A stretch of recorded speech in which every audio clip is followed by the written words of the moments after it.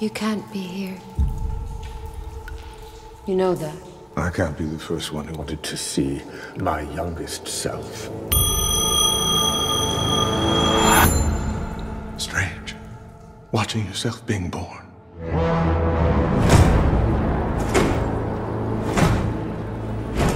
A genetic dynasty has reigned for almost four centuries.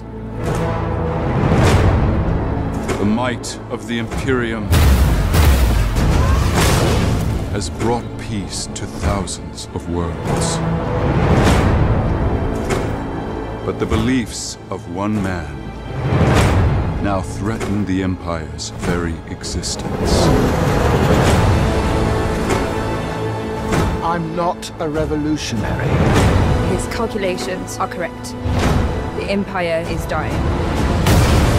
Order will vanish. Wars will be endless. Only we can shorten the darkness.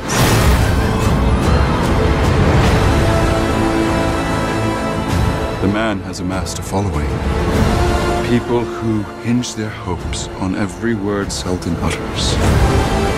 Words have a way of fanning into wildfires. You can't save yourselves.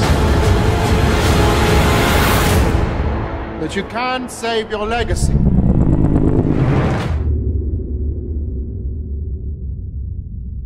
People have been trying to make Foundation for over 50 years. Foundation was an enormous influence for Star Wars. It was the greatest science fiction work of all time. The story is sprawling, the scope is sprawling, it unfolds over the course of a thousand years. If ever there were a company that was hoping to sort of better people's lives through technology, through connectivity, it's Apple. And that's something very much that Asimov was hoping to do.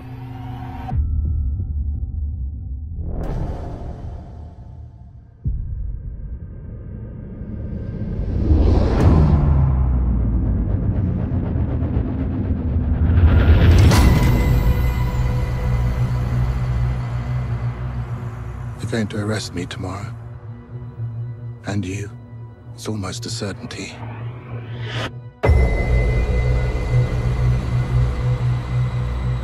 You're familiar with my work, psychohistory? Yes, in theory, but I don't know what it has to do It's not a theory.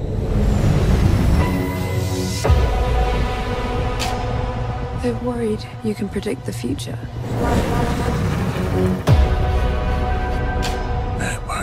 People believe I can. And they don't like the future I predict.